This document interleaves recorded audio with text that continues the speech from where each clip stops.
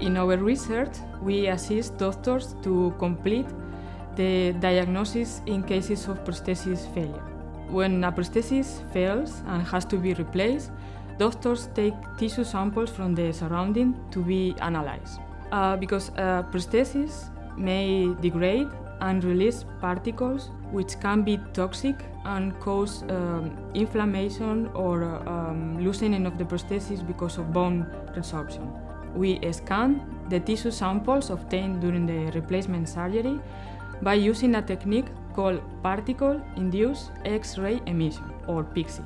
PIXI uses a proton beam to induce the emission of the characteristic X rays, which are like fingerprints of the elements. In this way, we are able to see things that we cannot see with ordinary optical microscopies. PIXI allows us to identify the nature and the distribution of the particles released from the prosthesis to the surrounding human tissue. We believe uh, this research has potential to improve the diagnostic tools available at hospitals, leading to safer and more efficient uh, implants. Ukvarjamo se z razvojem nove instrumentacije, tako za diagnostiko, spremljanje razvoja bolezni in ugotavljanje uspešnosti zdravljenja. Poleg tega se ukvarjamo tudi z novimi terapevtskimi metodami, recimo s protonsko radioterapijo, ker nas zanima predvsem adaptivna terapija, ker lahko načrt slikanja prilagodimo dnevnemu slikanju.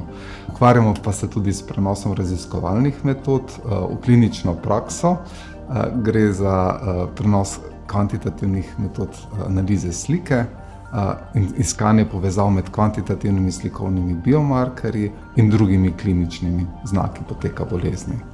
Še posebej bi pa izpostavil naš trud na razvoju pozitronske emisijske tomografije. Se pravi, pri pozitronski emisijski tomografiji spremljamo radioaktivno označene molekule in zato rabimo pač dobro instrumentacijo. Na našem odseku so razvili številne metode, ena je tudi tista, s katerimi lahko pocenimo to tehnologijo in omogočimo njeno uporabo tudi na bolnicah, ker recimo nimajo toliko veliko denarja.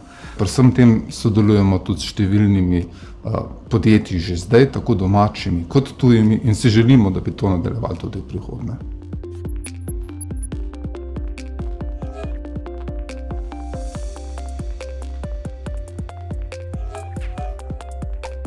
V sklopu humanega biomonitoringa se je izvaja ocena izpostavljenosti človeka različnim kemikalijam, kot so naprimer težke kovine, endokrini motilci in pesticidi. Izpostavljenost se določa preko analiz prisotnosti kemikalij in njihovih presnovnih produktov v humanih vzorcih, kot sta urin in kri, in odraža celotno izpostavljenost preko vseh poti izpostavitve. Te informacije so kritičnega pomena za pripravo načrtov za zmanjševanje izpostavljenosti škodljivim kemikalijam ter za ovrednotenje tveganja za zdravje. Raziskovalne dejavnosti odseka temeljijo tudi na uporabi stabilnih izotopov lahkih elementov, elementne sestave in biomarkerjev, kot so aminokisline, maščobne kisline ter arome, s katerimi najpogosteje preverjamo pristnost in sledljivost živil. Naše raziskave potekajo na različnih živilih, kot so med, mleko in mlečni izdelki, sadni sokovi, vino, olje, raznovrstno sadje in zelenjava ter meso. To vrstne raziskave nam pomagajo zaščititi tako potrošnike kot proizvajalce in prispevajo k promociji številnih kakovostnih slovenskih izdelkov. Veliko sodelujemo z industrijo, predvsem na razvoju različnih materialov, kjer z vrstično elektronsko mikroskopijo analiziramo mikrostrukturo in kemijsko sestavo izdelkov.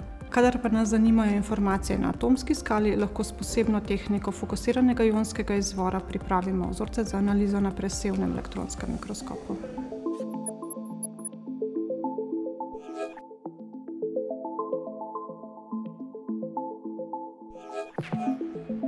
V tesnem sodelovanju s katedro za stomatološko protetiko Medicinske fakultete Univerze v Ljubljani izvajamo translacijske raziskave dentalne keramike iz cirkonijevega dioksida.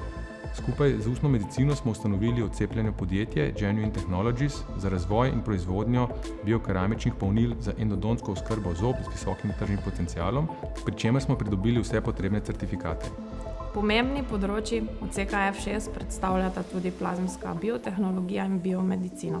Tukaj se ukvarjamo predvsem z razvojem in preučevanjem novih, varnih in energetsko učinkovitih plazemskih sistemov pri atmosferskem tlaku za uporabo na področjih biotehnologije, agroživilstva, varstva okolja in medicine.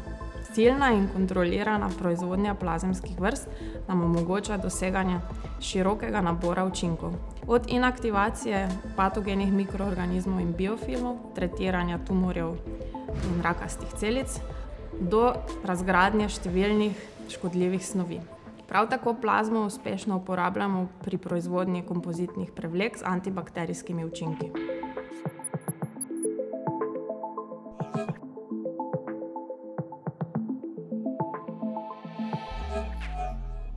Na Centru za prenos tehnologij in inovacij na Inštitutu Jožef Štefan si prizadevamo za prenos čim širšega nabora znanj in izumov v gospodarstvo.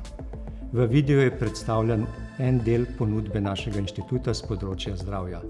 Podjetja vabimo, da se s svojimi predlogi in pobudami obrnejo na Center za prenos tehnologij in inovacij.